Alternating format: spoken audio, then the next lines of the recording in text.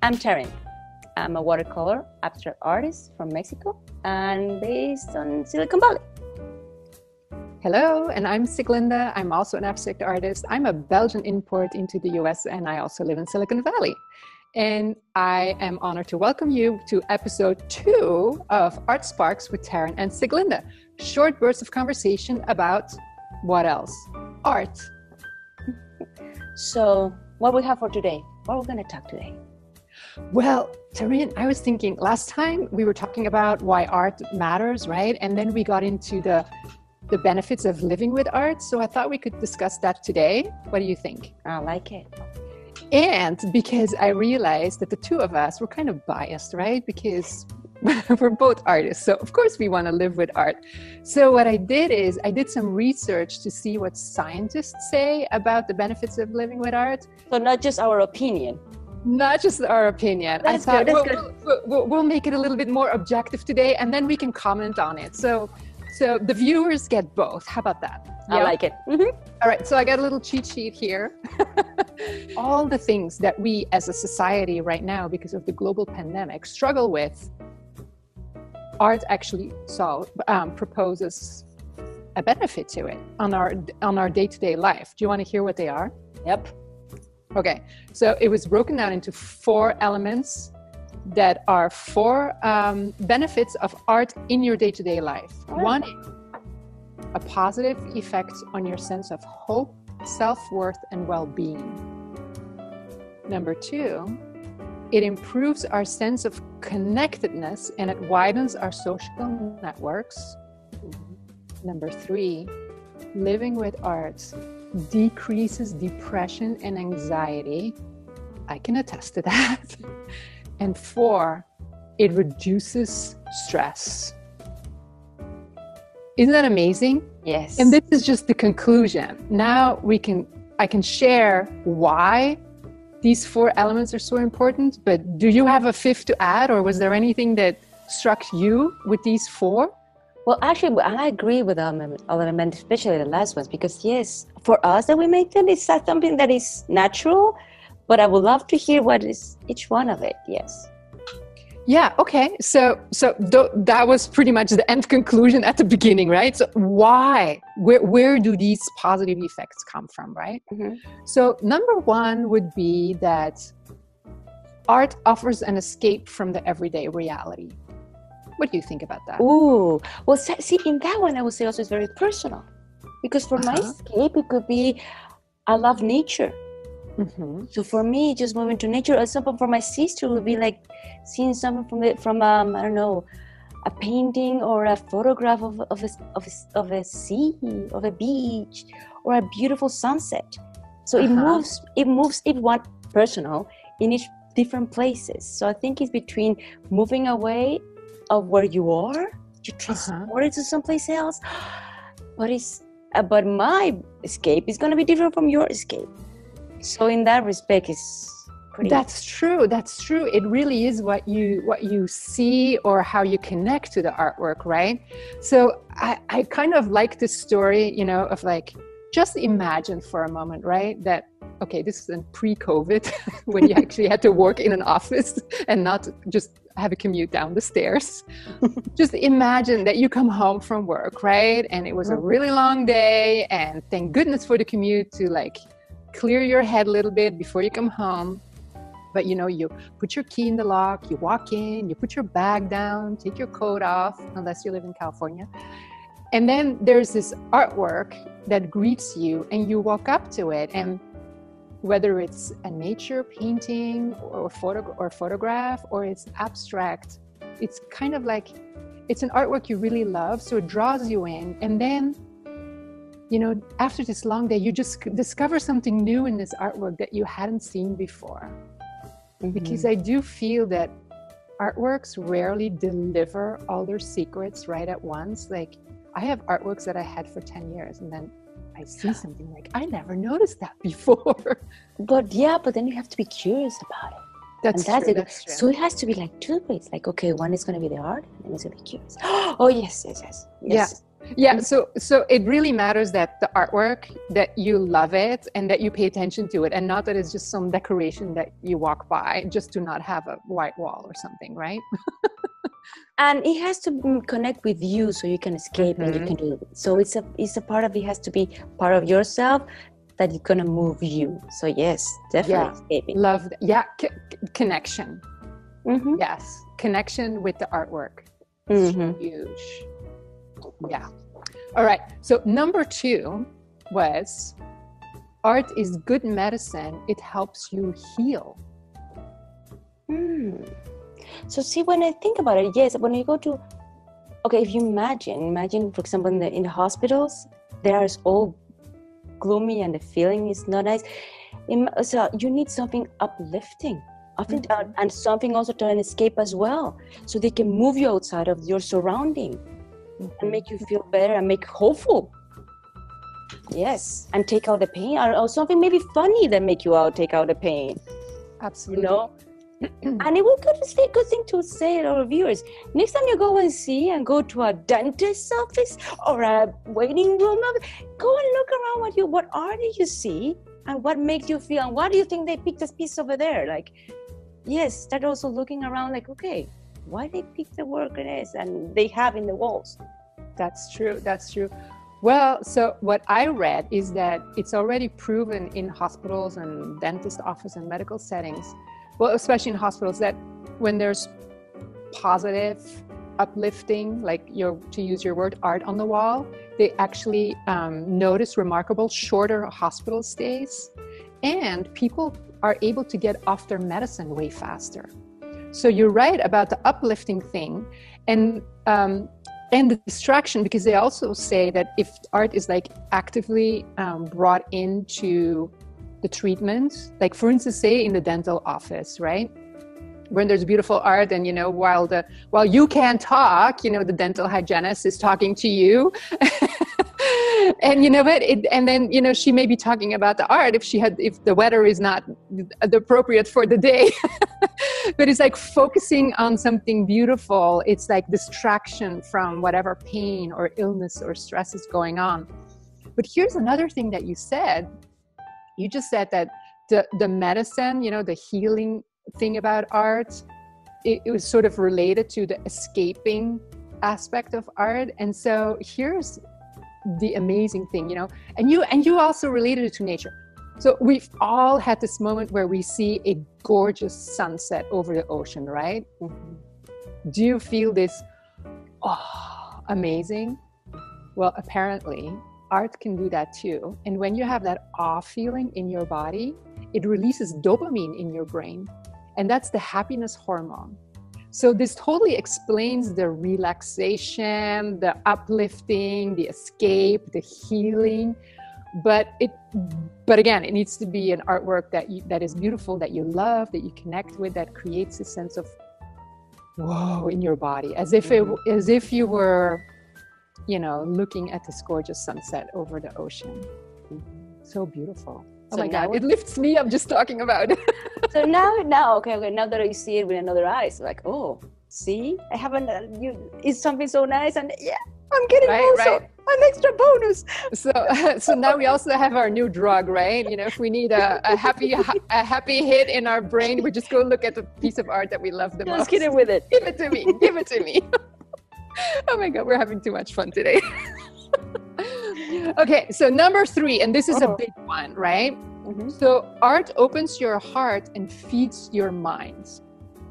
And I have five items underneath that. And the first one is art evokes emotion.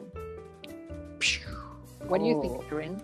Well, in my experience, and that's coming up from when I was really, really young, and this one is um, I grew up in my in well, my grandfather used to paint, Mm-hmm. So instead of having photographs of the homes, he used to do um, the painting of the home. He was a watercolor artist. Uh, I know. See, we're like that one was similar because we got grew up with original paintings on my walls. Okay, that's how I grew up. Uh-huh.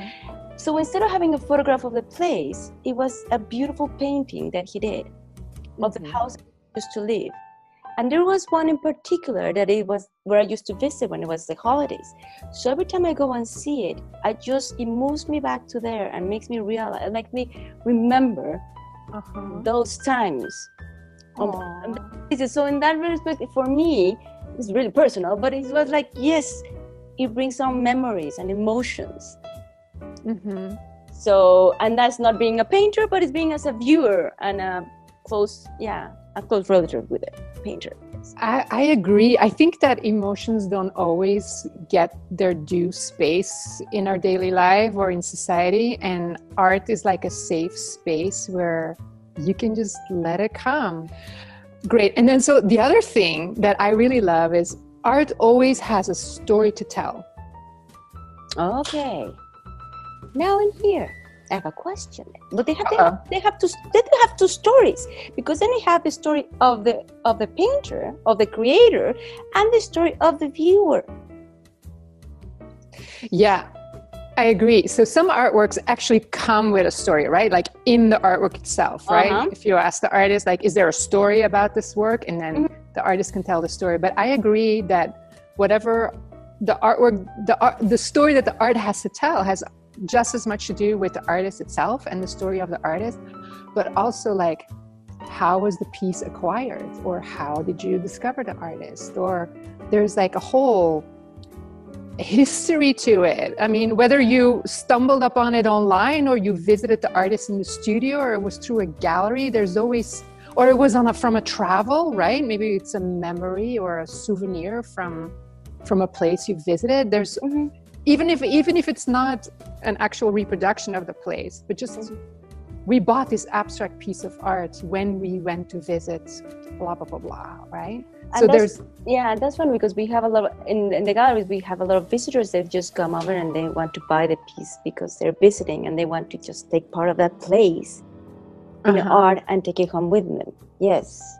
Yeah so there's so the stories that art tell are so multi-layered and it doesn't have to be the one that the artist put in the work, if any, right? Because you pointed out to me a couple weeks ago, like, well, Sieglinde, not every art has an actual story, but there's so many layers of story around it if you're open to it. And then, mm-hmm. if again, we're going back to that word curious, I think that's also what makes an artwork more interesting right and and changes your viewpoint and your connection with the piece if you know the story exactly the connection because if you connect to the story of the art of the painter of the artist then it's magical because it's then you you you're gonna get the viewer and the artist together and that's when is the best thing ever because that way you put pieces mm. together in one art I actually agree with that. I love the, the, a direct connection with my collectors and, and meet them at least once, even if it's over Zoom, so that you could put a face to a name and, and, a, and a voice to the words and have some kind of a rapport. And um, it just, it just, um, yeah, I think art can be so personal, but that, and so bringing that personal connection in mm-hmm. just makes it, like you say, magical. And, and you just start seeing the art piece that you bring into your daily life into a totally yes. different view, yes. right? So with that story, um, you know, comes that art is an excellent conversation starter, mm-hmm. which opens the doors to more meaningful connections with other like-minded people. What do you think of that? Well, see, that one I would particularly like with the abstract pieces. Uh huh. Because because um, with abstract pieces, it also comes with a viewer. I'm always trying to follow. I don't know why I always go to the viewer, but like I put up a post last week and asked about it was an abstract piece, and I said, "What did they see?" And some mm-hmm. of them see, saw the sand, another one saw a field of wheat. So for me, it would be like, why? Where? How do you grow up? I have never. I'm a city girl, so like, where do you grow up with this hill of of wheat? I would just love to see where the people come from, or why are they seeing these things that is seeing in the abstract piece. So for me, like when you're talking about an art, and I, especially when I know with abstract, because that's part of the imagination of the viewer that will oh, come out totally. of it. Totally. So, uh, so you can see a lot, you can learn a lot about that person without asking like much questions. It just tells you the stories. I don't know. That's what i like about yeah i have two two things i want to say to that. One is you know an exit conversation starter without the artist right? Like if you have like if you are at an, at an art reception mm-hmm. Standing there alone with a bunch of strangers if you happen to fly solo that night there the, uh, you, there's always something to talk about with the other people there because you can talk about the art mm-hmm. right? So there's always something to talk about. If you have like a dinner party or a cocktail party at home you know and and your guests come in i'm like oh my god tell me about that piece right? And then bam you know an interesting conversation starts and immediately like like who knows what will come out of that especially because people can interpret the artwork in their own way. And so you know actually you know what? Your guests may just be adding another layer to the story. I mean so it's it's no matter where you are the artist doesn't even have to be present to to um, to generate these interesting conversations. Mm-hmm. however with the artists I, ha- I this actually goes to our next point that art sparks interest and curiosity but i fully agree with you when people ask me especially the abstract pieces. So, what is your artwork about? I almost don't want to say. Mm. and it's not that I don't know what it's about. I can talk your ears off about it. But it is mm-hmm. so much more interesting when you tell me what you see because then I learn and then we can have this conversation and then some of the things you say maybe things that i never even thought about but then they're food for the next art piece because if I just tell you, then I'm just staying stuck inside my own box here. And then I can't grow as an artist. But if somebody else tells me, like, well, to me it feels blah, blah, blah, blah, or I see this, then I get so hungry for more. I'm like, tell me more. What do you feel? What do you see? like, and then it, then it, and then, you know, this, it just fuel, creative fuel for the next piece. I just love that. And I agree with you because sometimes the, the viewer's idea is so much richer than I intend. So sometimes it's like, oh yes, it's just there's some shoes, but they can see like such a wonderful things, and I'm like, no, don't want to tell you that are like, no, no, no, no. So I love that part as well. And then like, so people like, no, only when they really ask for it i will tell them because otherwise or i will tell them in the end right? Like okay. like i'll wait and then if it and or if or if it gets becomes part of the conversation i'll weave it in but it's so much more interesting. And then the thing is because it it sort of invites viewer to engage more with the piece right?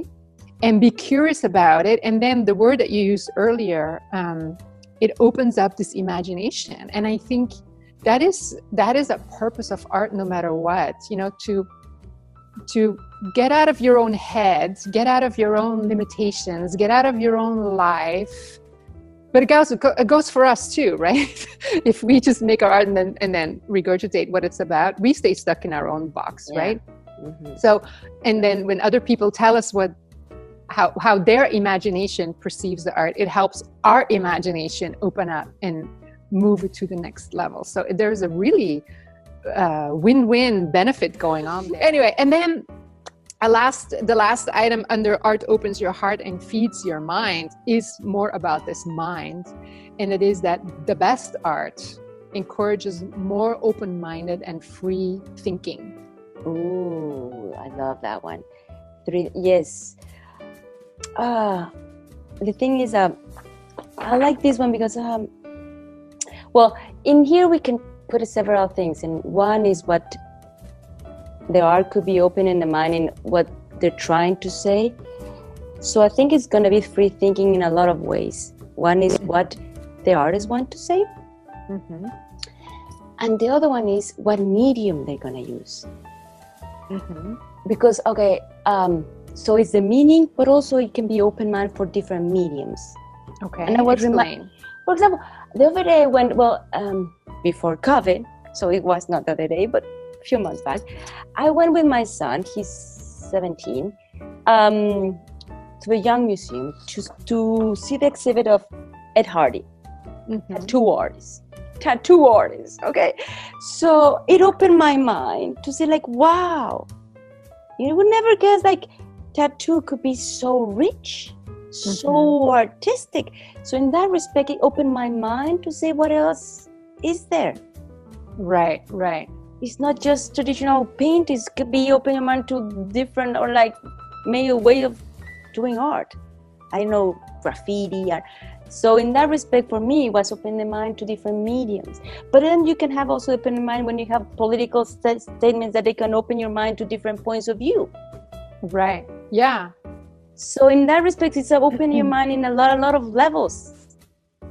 In yeah. So, for me, excuse me, it's not a COVID cough. We're safe. and I'm home alone. and we're six feet away. Okay. Okay. so for me, the big theme in my work really is reimagine what else is possible, right? And it's really, I'm always focused on whatever I do, even if it seems realistic, there will always be something that you cannot quite put your finger on. I never want to close the box of defining something. I always want to have this loophole where you can redefine whatever you're looking at or um, um, turn your perspective into something that you would approve of or that you would like if you don't like it. It's like, and it's for me, it's, and now I'm going to sound like a rebel, but it's sort of like a way of approaching art as well. Like, if there's something in front of you that you don't like, you know, can you change your perspective on it? Or instead of just dismissing it or having to suck it up. I mean, there's always another option, right? There's always another choice. And I feel just like art is a safe space for emotion, I feel art is the safe space to to um, interpret things in a different way, build things in a different way, define things in a different way. And in the end, what I read is when people get into this habit of seeing more options and more possibility and more and sort of get out of their own head their own limitations their own box including us right mm-hmm. it leads it actually leads to more tolerance in on a society level and more empathy towards others and then and then also for you it leads to more emotional and intellectual self-confidence. What do you think of that? I like the empathy, yes, because when you see the artist, well, not just when you see the artist as a way of expressing themselves and your open mind to what they're saying, yes, you start to understand them as their point of view, and I think it's a good muscle to use or new muscle to to really work, and is to understand the other point of view and that, that's that was my point thank you for making it clear it's like a muscle that you train. But in art, it's a safe. It's safe, but then you can apply that muscle to your spouse or your kids or your neighbor. You know, this more open-minded. You know, seeing it differently. What else is possible? There's always another choice. And you know, with there's with the idea that there's always another choice, also comes this feeling of freedom Mm-hmm. well, and also learning different perspective. It makes you richer. It makes you. It makes yeah. you more like more grounded, more prepared. I don't know. So well, that's where the whole emotional, intellectual self confidence comes from, right? The the richer you are in that regard, like the more self confidence you get. Mm-hmm. Oh man, this is a good one. Mm-hmm. I'm liking our conversation today. I got two more points. Okay. One we already touched upon, and it sort of is that um, art elevates your social status.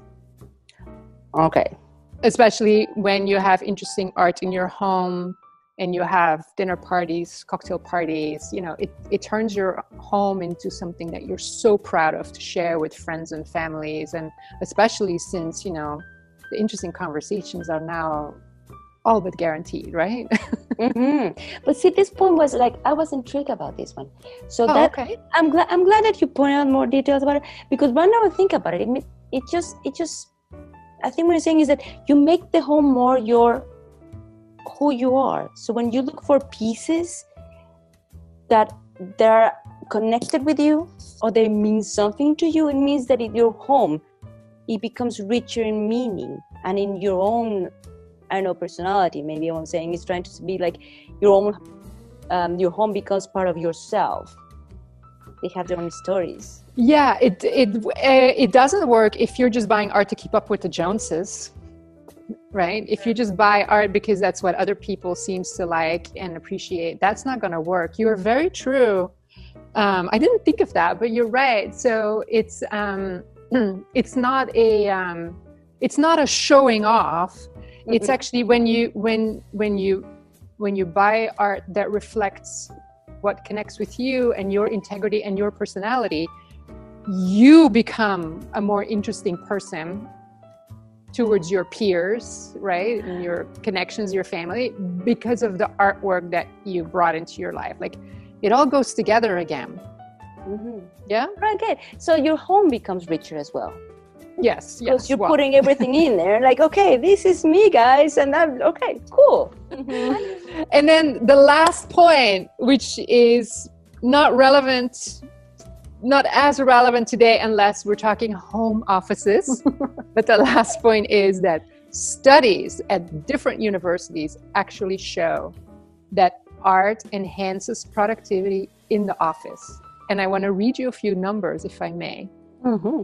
But it showed that people worked 15% faster and enjoyed better health in an office with art. And if they actually had a say into where the art was placed this is a funny one. It's not what art to choose but where the art was placed their productivity boost was double to 30% that's huge. Yes. So if you have a home office where you feel like you do, you cannot put your best foot forward maybe it's worth looking at the art and placing the art because look a 15% productivity boost or 30% if you hang it on the nail where you want it. Well 30% and better health. It was like i was mind blown when i read these numbers. Well i was thinking if you are like okay well if you have to work you want to have an uplifting place to work. Yes. true. And if you are tired and you mm-hmm. want your eyes to rest or just to mind to rest then you want to be able to shift your attention to someplace else I, I think I'm trying to get to the logic behind it. Yeah. So, the art in your home on a day to day basis benefits your sense of hope, self worth, and well being. It improves your sense of connectedness and widens our social networks, even though a lot of it is online right now. It decreases depression and anxiety, and it reduces stress. Oh my God. Beautiful. What is not to like here? Know. Yes, you did a right? really good job. I love it. Thank you so much. so, what are we talking about next week, Taryn? Because where do we take all this now? Because now people are eager to have art in their homes. Yes, we have to find, okay, how to look for art, how to find art for each one of us, how to look at art. What do you think? Yeah, finding art that connects with them. Okay. Sounds awesome. Let's do that. All, all right. right. Thank you so much for um, joining us today. Please like, subscribe, and share this video. As you know, we're just starting out and we would love to reach a lot more people. And we'll be back next week. Thanks yes. so much. Thank you. Bye. We have fun. Bye.